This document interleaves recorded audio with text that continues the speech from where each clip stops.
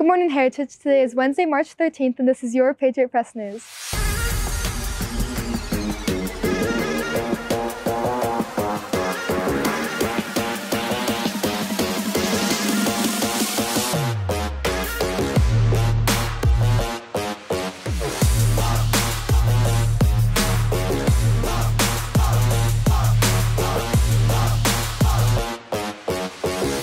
I'm Presley Hart and here are announcements for today. Tomorrow after school, your Think Together program is hosting Super Smash Bros. tournament.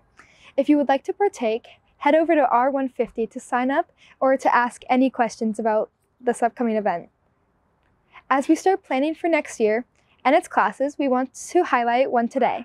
Calling all science fans, competitive scholars, and future healthcare providers, are you interested in taking AP Biology next year?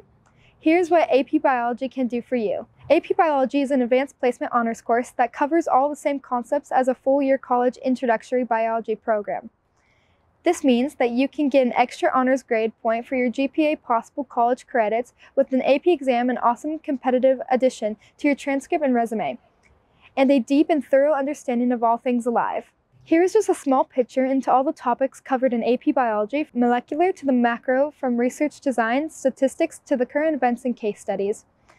If you love science and all things biology, want to challenge yourself with college level course, or want to make sure that you do well in all of your college classes in biology, this is the class for you. If you have any questions, please contact Ms. Hagedorn either by the email at jessie.hagedorn at puhsd.org or in room W221. Now let's hand it over to our ASB. Patriots, your sophomore class is planning a field trip on Friday, April 12th. Everybody is invited every student and staff. We're going to the Ontario Reigns versus the San Diego Gulls hockey game.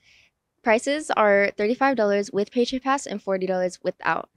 Prices include transportation by the school. If we sell 100 tickets, we can go on the ice right after the game. Tickets are sold at the student store. They're selling until March 22nd. See you there! All our Patriots teams are set. This year we have 15 teams competing in our Patriot Olympics. If you would like to come out and support your team, make sure you head over to the football field after school on Friday, March 22nd to watch the games. Cost to get in is only two canned goods, which we will be donating to Menifee Valley Cupboard. If you would like to partake in, partake in any carnival games, bring an extra canned good. One canned good equals one ticket. We hope to see you there. That's all of our announcements for today, Patriots. Have a great day and we'll see you tomorrow.